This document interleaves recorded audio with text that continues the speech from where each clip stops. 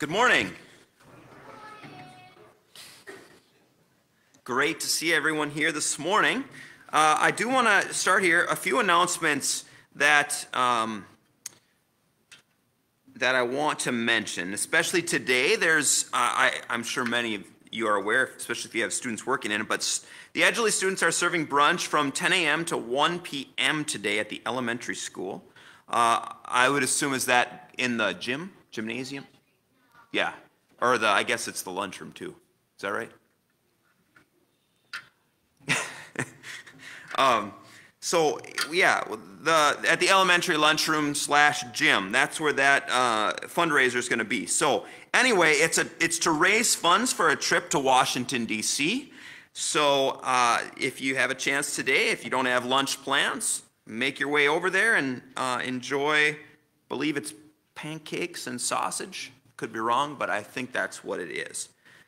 Uh, also, then April 2nd, 3rd, and 3rd, uh, starting at 6 p.m. on those days. The Zion Lutheran Church is, yes, sorry. Oh, they're sold out.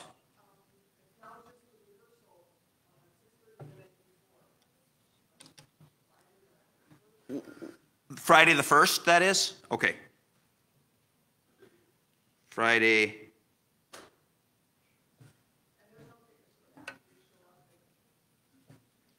Okay, so Friday the 1st, uh, April 1st, April Fool's Day. I'm not joking. It's true. They're going to do a uh, uh, rehearsal, the dress rehearsal, if you want, if you want to see it. Uh, April 1st is Saturday, we're, we're being told here. I, I don't know. Yeah.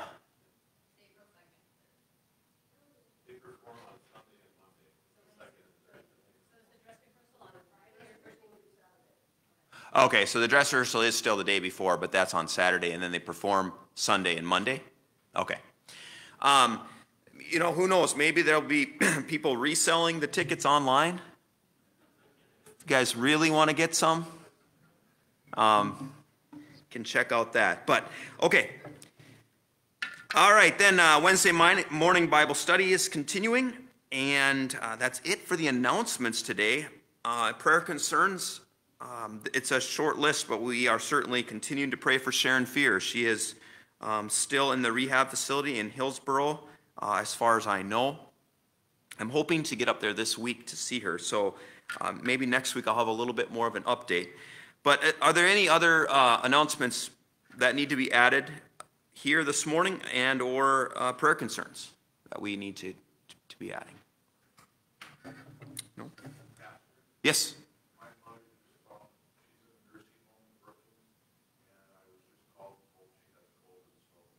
Okay. Okay. What's your what's your mom's name? Elaine.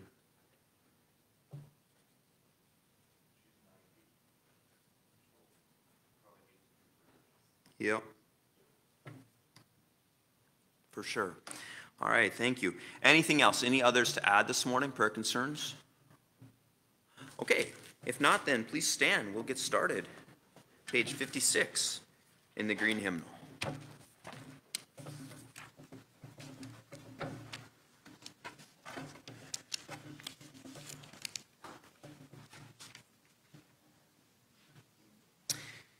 In the name of the Father, and of the Son, and of the Holy Spirit. Almighty God, to whom all hearts are open, all desires known, and from whom no secrets are hid, cleanse the thoughts of our hearts by the inspiration of your Holy Spirit that we may perfectly love you and worthily magnify your holy name. Through Jesus Christ our Lord. Amen. If we say we have no sin, we deceive ourselves and the truth is not in us. But if we confess our sins, God, who is faithful and just, will forgive our sins and cleanse us from all unrighteousness. Most merciful God, we confess that we are in bondage to sin and cannot free ourselves. We have sinned against you in thought, word, and deed, by what we have done and by what we have left undone. We have not loved you with our whole heart. We have not loved our neighbors as ourselves. For the sake of your Son, Jesus Christ, have mercy on us. Forgive us, renew us, and lead us, so that we may delight in your will and walk in your ways, to the glory of your holy name. Amen. In the mercy of Almighty God, Jesus Christ was given to die for you, and for his sake, God forgives you all your sins. To those who believe in Jesus Christ, he gives the power to become the children of God and bestows on them the Holy Spirit. Amen. Amen. You may be seated now through, for the uh, opening hymn. We are in, as, as of last Wednesday, which was Ash Wednesday, we are now in the season of Lent. And so our first hymn is uh, definitely a Lenten hymn. O Lord, throughout these 40 days, page 99.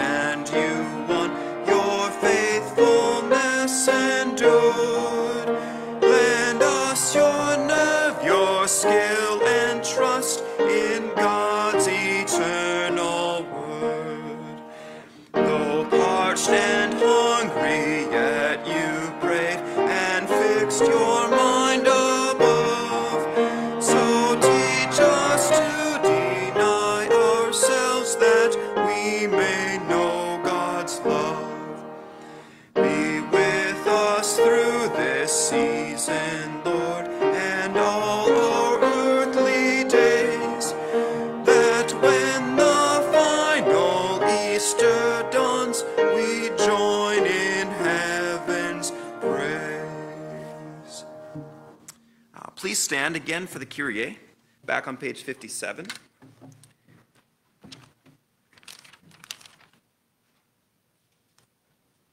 The grace of our Lord Jesus Christ, the love of God, and the communion of the Holy Spirit be with you all. In peace, let us pray to the Lord. For the peace from above and for our salvation, let us pray to the Lord. For the peace of the whole world, for the well being of the church of God, and for the unity of all, let us pray to the Lord.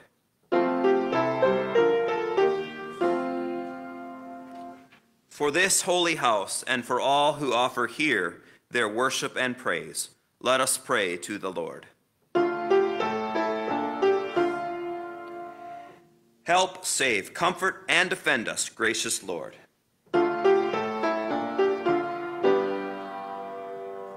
Uh, please remain standing now for the hymn of praise. Come, thou fount of every blessing, page 499.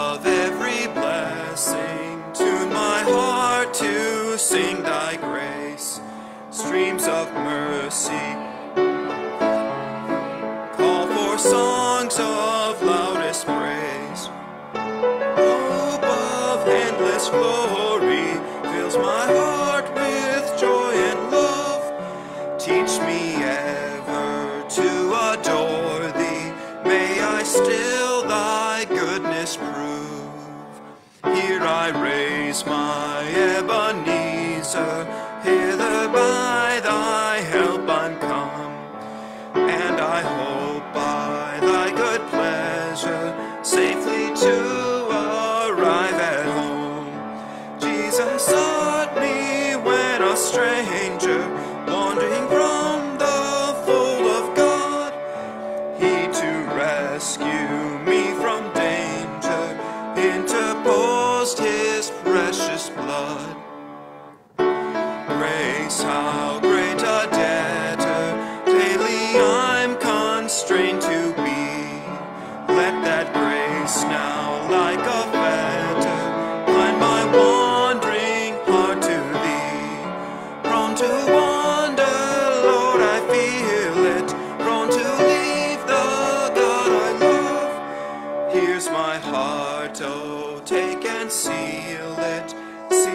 For thy courts above. Please remain standing for the prayer of the day. The Lord be with you. Let us pray. Lord God, our strength, the struggle between good and evil rages within and around us, and the devil and all the forces that defy you tempt us with empty promises. Keep us steadfast in your word, and when we fall, raise us again and restore us through your Son, Jesus Christ, our Savior and Lord, who lives and reigns with you and the Holy Spirit one God, now and forever. Amen. Amen. This time, uh, you may be seated, and I'll invite the children forward for today's children's sermon.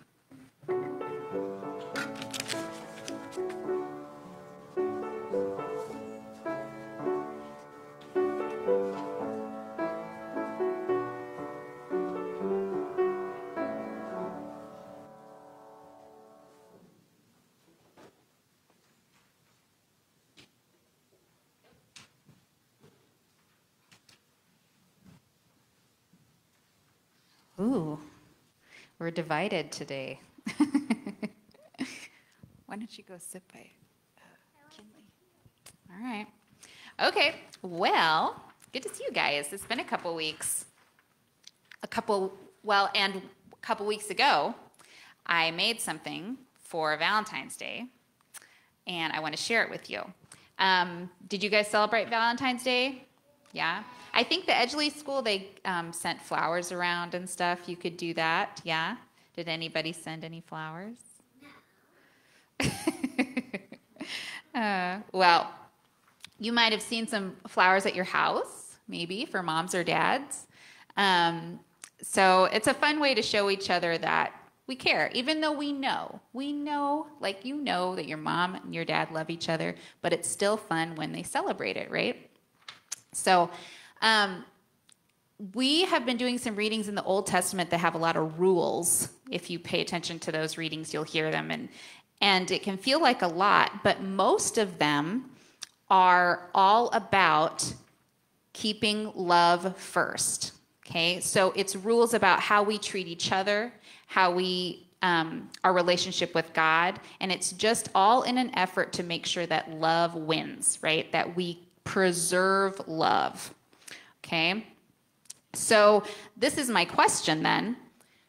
If it's all about love, then how big do you think God's love is? Like, as big. Well, do you have an answer? Tell me. As big as the whole earth? That's a really good guess. The whole universe? Because he probably, I mean, maybe the stars aren't alive, but he probably loves them. He made them. That's a good guess.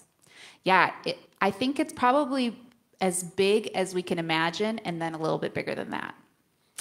Um, so, what it tells me then, oh, you have an answer too? Go ahead, Hudson. As big as the jungle. I think you're right. It's as big as everything, right? Everything that we can imagine, and also as, in a way, also as small as everything, because it's as big as the whole, like every single person can fit inside of his love, but also it's small enough for just you, right? His love is all about you as a person, an individual, but about the whole world too. It's both. So um, that means that it's big enough for the person that you maybe have a hard time loving, right? You might have somebody that it's pretty hard to love. It's not hard for God to love that person, which is good news. um, so, what I would like to do is I made, I tried to make a God sized Valentine. I know it's not actually big enough to hold the whole entire world, but I'm going to pretend that it does. Okay?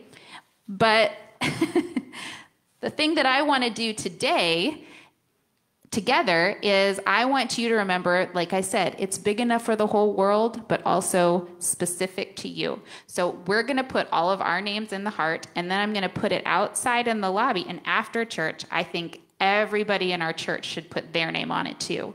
So we can remember that God's love is big enough for everyone, but special enough for each and every one of us. Okay? So um, let's say a prayer, and then I'm going to let you guys grab a marker okay? And we'll we'll start the whole thing. We'll do it first before the adults okay? So god thank you so much for your love and for your commandment to love. We need to remember that that is the most important thing to always be working towards and preserving. Help us to love one another as we walk with you each day. In your name we pray. Amen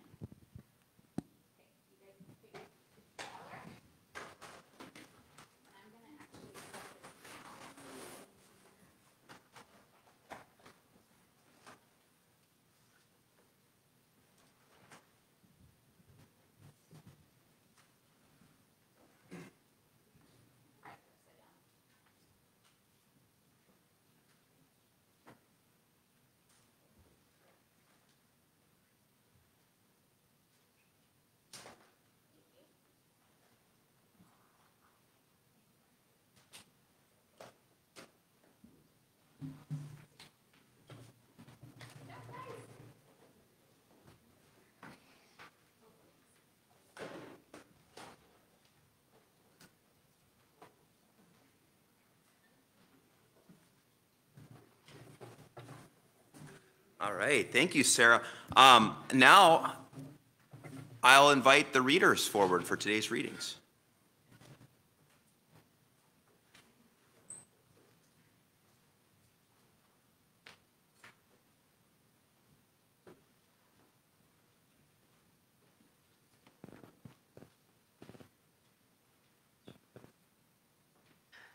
All right, the first reading is Genesis chapter 2, 15 through 17, and chapter 3, 1 through 7.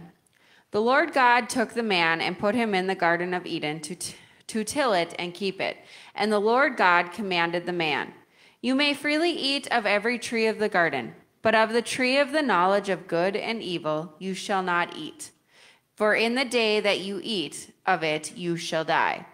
Now the serpent was more crafty than any other wild animal that the Lord God had made.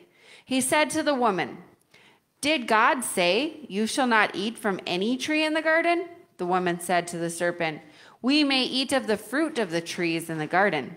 But God said, You shall not eat of the fruit of the tree that is in the middle of the garden, nor shall you touch it, or you shall die.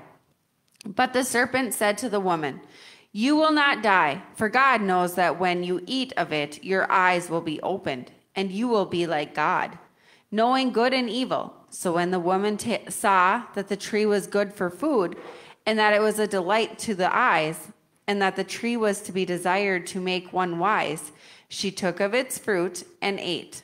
And she also gave some to her husband, who was with her, and he ate. Then the eyes of both were open and they knew that they were naked. And they sewed fig leaves together and made loincloths for themselves. Here ends the first reading.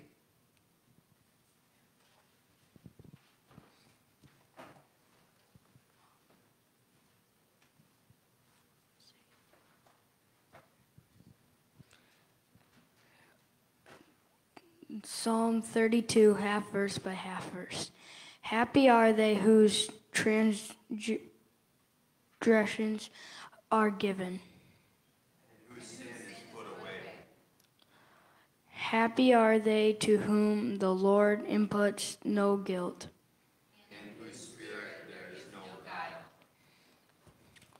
While I held my tongue, my bones withered away. For your hand was heavy upon me day and night.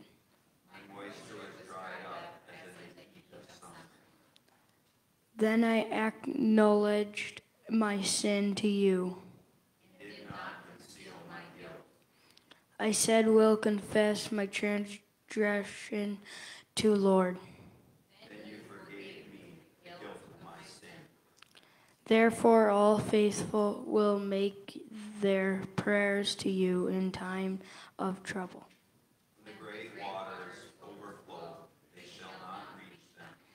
You are my hiding place. You preserve me in tr- trouble.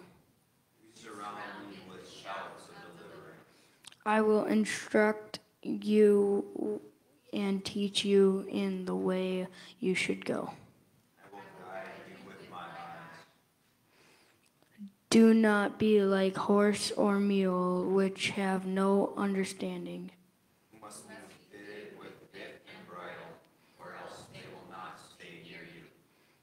Great in tribulations of the wicked. But mercy embraces those who trust in the Lord. Be glad you right, rightness and rejoice in the Lord.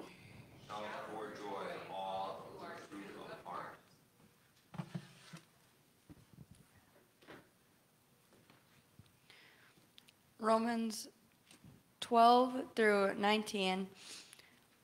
Therefore, as a sin came to the world through one man, and death through sin. And so death spread to all men because all men sinned.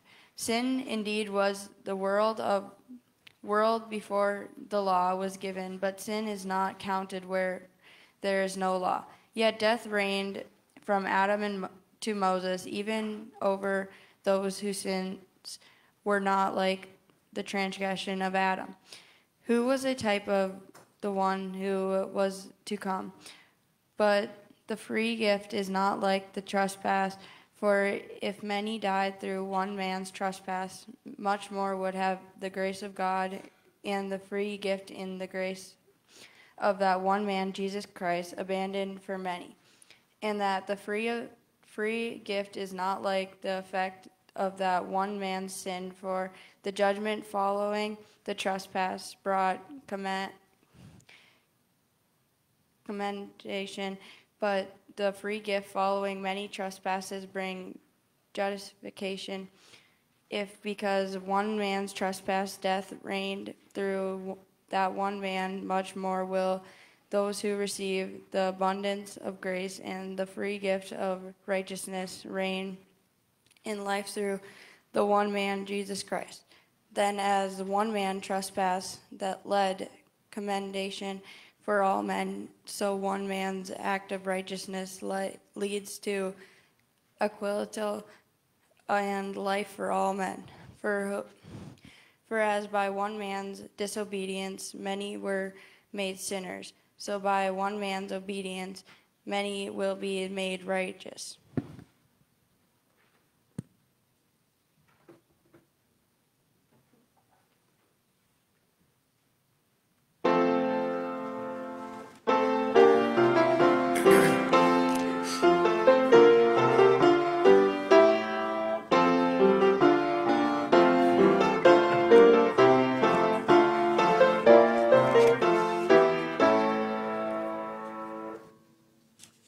Gospel according to St. Matthew, the fourth chapter.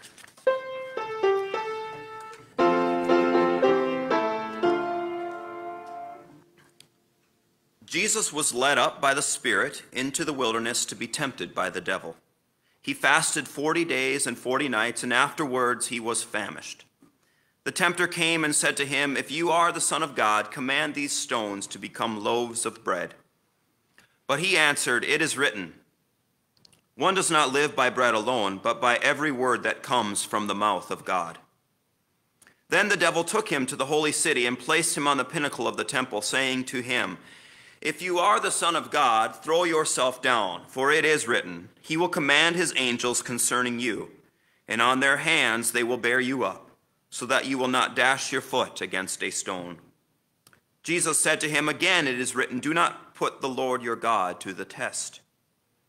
Again the devil took him to the very high mountain and showed him all the kingdoms of the world and their splendor. And he said to them, All these I will give you, if you will fall down and worship me. Jesus said to him, Away with you, Satan, for it is written, Worship the Lord your God and serve only him. Then the devil left him, and suddenly angels came and waited on him. This is the gospel of our Lord.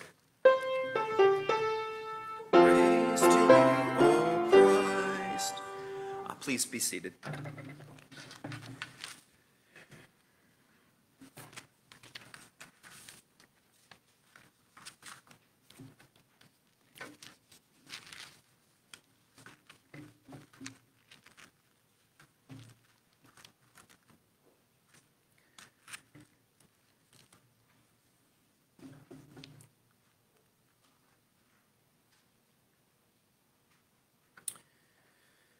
All right.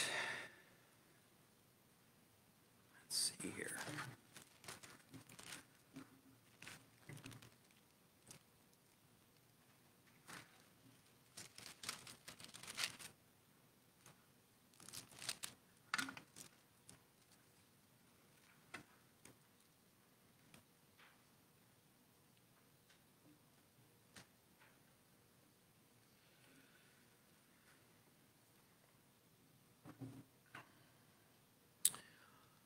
So the uh, after after the storm this week, it it wasn't as much snow as they said it was going to be, but wherever the snow drifted, it tended to be pretty deep and pretty hard. And uh, when we first left the house after the storm, I, I, I pulled out with our our Flex, which is kind of a car slash SUV, but more more a car in terms of how low it is. And it's also all-wheel drive, but it's the kind of all-wheel drive that doesn't really help you under certain circumstances. So I pulled out of our I was we, we weren't going far. We were going a whole like two city blocks to my parents. And um, and I, I pulled out with the car and wasn't paying real close attention and the one drift in our yard that did exist is what I tried to not drive through, but really straddle long ways. And the car just kind of lifted up on top of it, and there I was. Um, and and the, the, the dumb thing is, the way these traction controls work are when you spin, they stop spinning. So you can't really do the rock thing, as he's shaking his head. So, so I, there I was, right? And, and my question to start today is, is this, and this is going to be a poll. I want some audience engagement here. Um, there I was in that situation. Now, now my question is, how do you define that situation? Did I get stuck or did I drive stuck? Okay? If I was driving stuck, raise your hand. Come on, there's got to be. Irene, your German background surely must be you must drive stuck, right? Yes, she shakes her head, yes. Does anyone else want to acknowledge their German background? I mean, I, I heard it a lot, I'll say that. Um, of course, I, I was always confused, but most people here, they get stuck. You get stuck, and there you are, you're stuck. And I never could quite understand what it meant to drive stuck.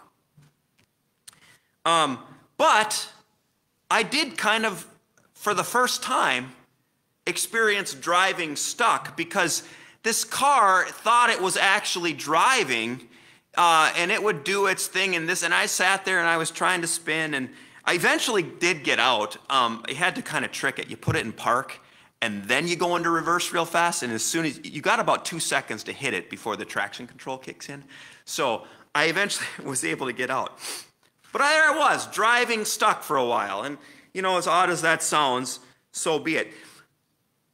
But more importantly, I, uh, it actually ended up be becoming a very good image, maybe a good theme or a good, a good uh, uh, uh phrase for what I want to talk about here uh, today. Today is Lent, or today is the first Sunday of Lent, and as I say many years, there are different themes in Lent that we can focus on. There are themes of uh, there are themes of just in, in various ways drawing closer to God. This is a season to, to do that very thing, to sort of come to terms with where you're at in your life and where God is at and, and, and, and the distance between the two and, and how can that distance, how can that chasm be somehow lessened or made smaller? And there's different words that we use, but today the word I just want to focus on is the word confession. Uh, confession is something we, we probably are, it's not a new word to anybody, it's, it's, but at the same time, the role of confession in the Christian life, I'm thankful that we have it in our liturgy, that each Sunday we at least say the words. And that doesn't mean that we mean it. That doesn't even mean that we're really listening. But it's there for us every Sunday, and for that I'm thankful because apart from the Catholic tradition and those who use a liturgy, maybe confession doesn't even come up in your daily life or your weekly life or your annual life. You don't really think about confession in the way that Scripture talks about it. And so today we want to I want to focus on Psalm 32 to get us into this conversation about confession. Psalm 32, if I could ever get to it, here we go. says, How blessed is he or she whose transgression is forgiven, whose sin is covered. How blessed is the man or woman to whom the Lord does not impute iniquity and in whose spirit there is no deceit. When I kept silent about my sin, my body wasted away through my groaning all day long. For day and night your hand was heavy upon me, and my vitality was drained away as with the fever heat of summer. I then acknowledged my sin to you. My iniquity I did not hide. I said, I will confess my transgressions to the Lord and you forgave the guilt of my sin. I don't so much want to talk about the idea of the, the, the one side of it being forgiveness today, which of course is huge. What I want to talk about is those first verses when the psalmist says, When I kept silent, when I kept silent, my body wasted away. Through my groaning all day, for day and night your hand, my vitality was drained away as with the fever heat of summer. When I kept silent. The image I had here is that a life without confession really is a life of driving stuck. We think we're driving, we think we're moving forward, but in fact, we're standing still. In fact, nothing is happening. We're driving stuck. When we keep silent, when we, when we don't acknowledge that distance that exists between us and God, that distance that exists between God's will and design for our life and where we're at, we enter into this space of driving stuck. In Proverbs, 28, verse 13, I want to share with you a similar sentiment from Solomon. Proverbs 28, 13. It says, He who conceals his, transgress- his transgressions, sorry, he who conceals his transgressions will not prosper. But he who confesses and forsakes them will find compassion. Here, the psalm, or here, um, uh, the author talks about it as he who conceals transgressions. Again, like the psalmist, he who is silent, but he who conceals these transgressions, covers this up, will not prosper. The word prosper here is not in the sense where we think of it as get rich. Really, here, the word prosper literally can mean move forward. He who conceals his sin will not move forward. In other words, as a good German, he would have written, He who conceals his sin will simply drive stuck in life.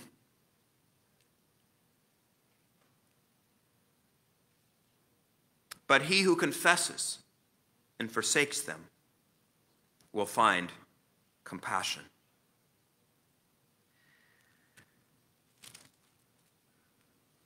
I want to do two things now, and that is, as far as getting us into this mindset, I, I want to share a couple of anecdotal things in the past week that I've run across, and I just want to share with you. And then I also, I'm going to close by sharing a reflection on this text that another pastor had as well, along the same lines. But first, I wanted to share with you something that I've come across this week uh, and maybe you're familiar with it. I've been sharing with, with Sarah a little bit. But um, has any of you been familiar with or heard about this um, seemingly, and I, I don't want to say so called in a negative way, but so called uh, revival that's happening in Asbury College in Kentucky? Is anybody aware of this? A couple of people. Okay. Awesome. I, I mean, I just kind of became aware of it this week through some social media stuff, and um, and I, I, I started looking into it. So Asbury Asbury College in Kentucky is a it's a small university, um, you know, smaller than something like Jamestown College even.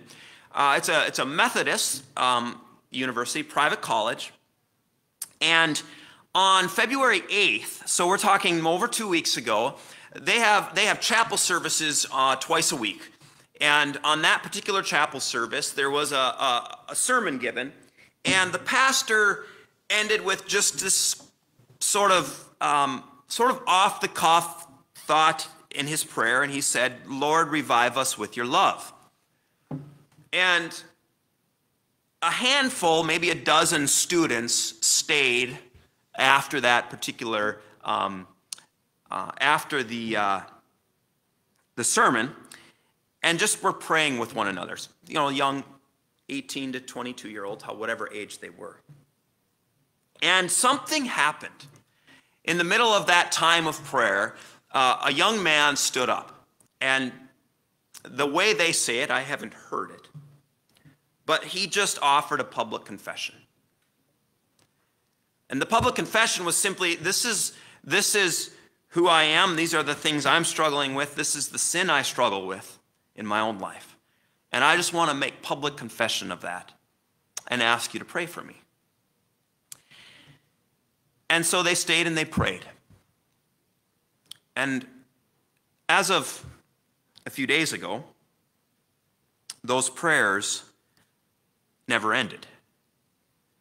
That was February 8th, and for two weeks, over two weeks, the prayers continued and thousands and tens of thousands of people began coming to this little chapel at this university from all over the country and all over the world.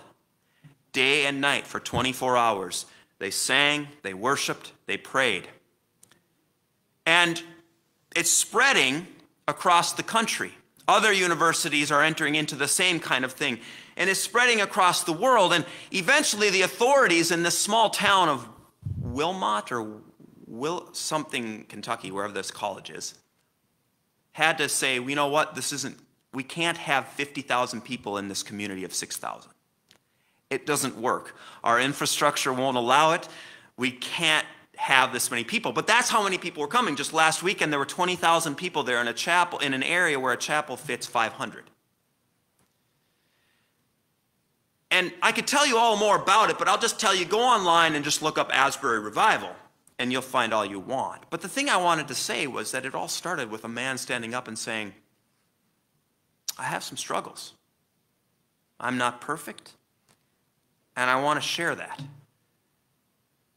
because I feel like I'm driving stuck. I don't think he actually said that. But it sparked a literal revival in that college, in that community. Maybe in this country, who knows? But it's interesting and, it's fascinating to watch, and I would encourage you to go and, and check that out. Um, in 1970, there was a similar revival at that same college, and it started in February of that year. And there's a whole documentary about it as well. And so um,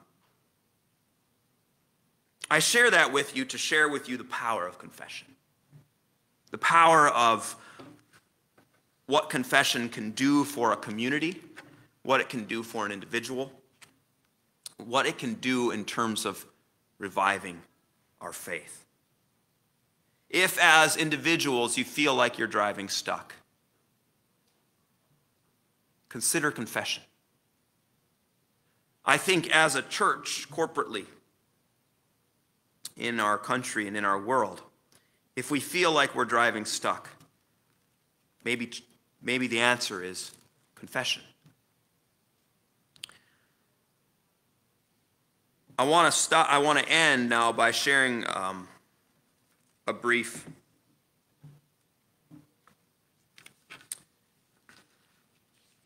reflection on this same text. It's titled The Joy of Being Cleaned. A long time ago, when I had just learnt to drive, I ran out of gasoline on a lonely country road.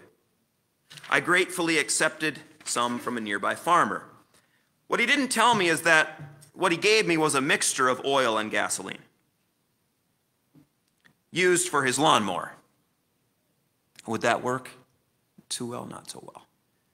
Um, it was an old car with a carburetor. I got back home all night. I got back home all right, but the next day the car behaved like a sick animal, coughing and sputtering.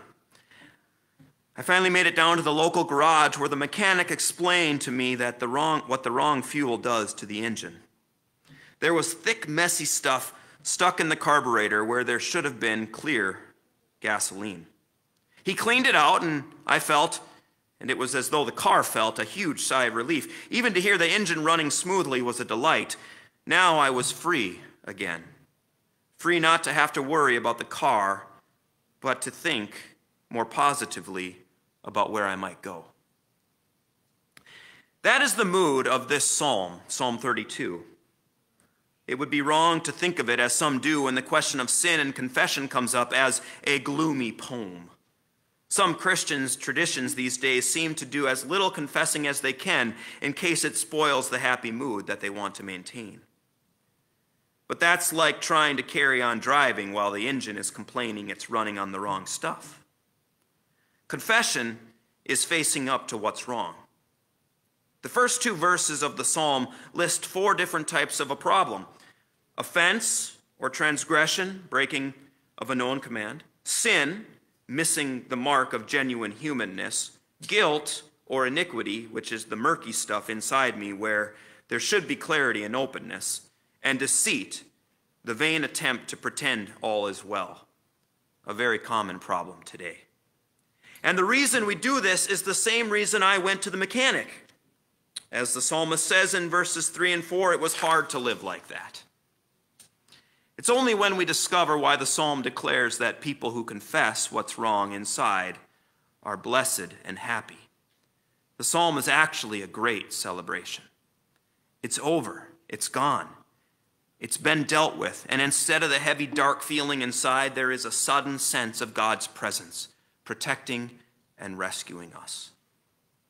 Only then do we discover that forgiveness isn't just a matter of bringing the bank balance, as it were, back from a huge debt to a balance of zero. Once the car has been cleaned out, we are free to hear a fresh call from God, to hear when He whispers and feel when He nudges, rather than having to be treated like an unbroken horse or a mule as it says in verses 8 and 9. A well trained horse is one that has learnt to sense the rider's hopes and intentions, and even to anticipate them. It is as though the mechanic not only fixed the car, but showed me on the map some wonderful places to visit that I had never managed, imagined before. That's why this psalm closes once again with celebration. Put off the task of confession, and the mess will only get worse, leading to all kinds of trouble. But trust in the Lord, and that trust will often begin by trusting Him with our saddest and our darkest secrets. And we will find His love surrounding us. It's like going outside on the first spring morning when where suddenly you realize it's not cold anymore. Lent is a time for discipline, for confession, for honesty. Not because God is mean or fault finding or finger pointing, but because he wants us to know the joy of being cleaned out, like that carburetor. Ready for all the good things he now has in store. Let's pray. Lord God, we come to you today and we do confess. We confess that there is much within us that holds us back, once much within us that causes us to drive stuck, much in us that we want to be free from and unburdened from. Lord, I pray that each of us would feel the comfort of your love, the confidence in your mercy enough to enter into confession, to enter into a space of opening up to you and, where appropriate, to others. So, in this season of Lent, we pray that as we confess, that we would also draw near. In Jesus' name, amen.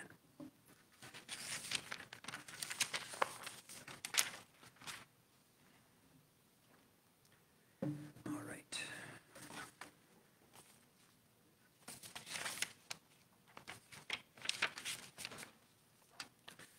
Uh, you can remain seated for the hymn of the day. It's 660 in the blue hymnal.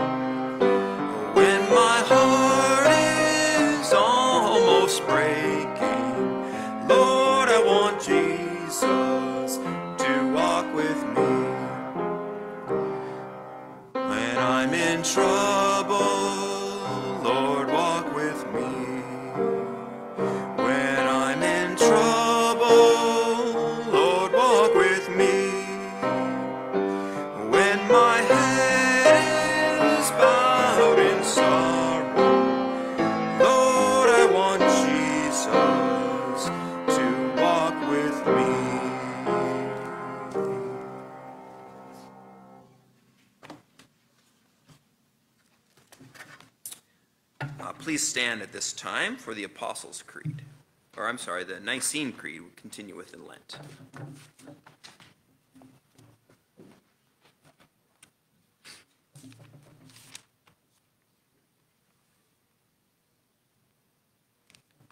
Uh, that's on page 64. We believe in one God, the Father, the Almighty, maker of heaven and earth, of all that is seen and unseen.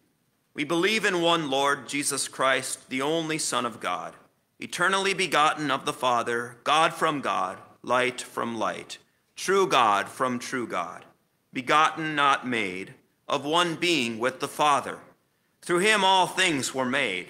For us and for our salvation, he came down from heaven.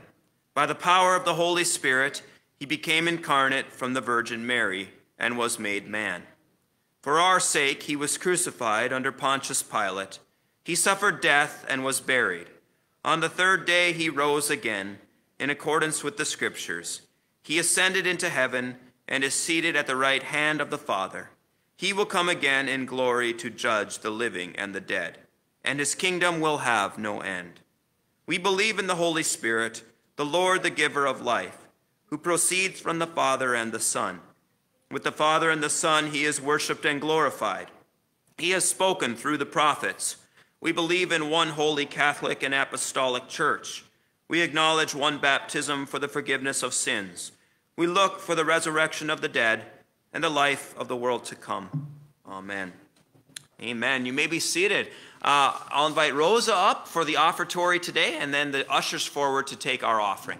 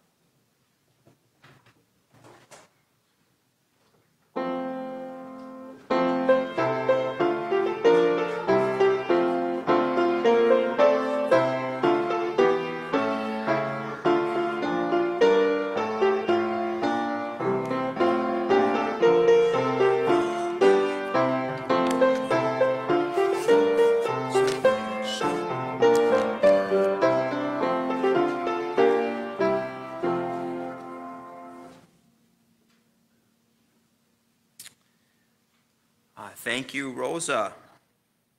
Now, please remain standing for the prayers of the church.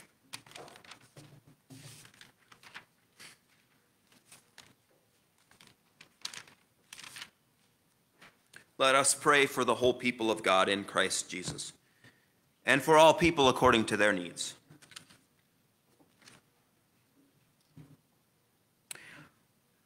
Lord God, we come to you today. We come to you today with uh, whatever burdens we carry on our hearts and in our minds. Lord, we surrender those to you. We come to you with whatever distance sits between us and you. Because of sin, because of hurt and pain, because of addiction, whatever it might be. And we confess these things to you. Lord, we, we know that you are merciful and that you are compassionate, full of love, desiring us to come to you and to unburden ourselves, and so we do. We pray that in this season of Lent, your church, the whole people of God, would do just the same. Lord, in your mercy. We pray for the nations today. We continue to pray for our own nation, asking for wisdom, that you would grant wisdom to those leaders, municipal and state, national, on all levels, Lord, that you would grant wisdom to our leaders. We pray that you would grant wisdom to the citizens. Help us to see a common vision, the common good, Help us to find unity in that. We pray for all the nations of this world. Where there is war, we ask for peace. And where there is poverty, we pray that you would provide. Lord, in your mercy. Lord, for this church, we thank you for the wonderful things that you do here each Sunday, the ways that you're working in people's lives, the way that you're working through this church. I pray that it would be a source of good news and an act of good news in our community. Go with this go with each person today, Lord God. Grant them grant them your mercy as they turn to you in confession. Lord, in your mercy. And for those in need, we think of Sharon Fear, who is carrying such a heavy and long term burden. We ask that you would restore her health, bring her home, so that she can be home with Arden and with her friends here back in Edgeley. We also pray for Steve's mother, Elaine, who has been diagnosed with COVID, and we ask that you would uh, grant her peace, but also grant her body strength to fight the illness and to be and to fully recover. Lord, in your mercy. Into your hands, O Lord, we commend all for whom we pray, trusting in your mercy through your Son, Jesus Christ, our Lord. Amen. Amen. Please join me now in the Lord's Prayer. Our Father, who art in heaven, hallowed be thy name. Thy kingdom come, thy will be done, on earth as it is in heaven.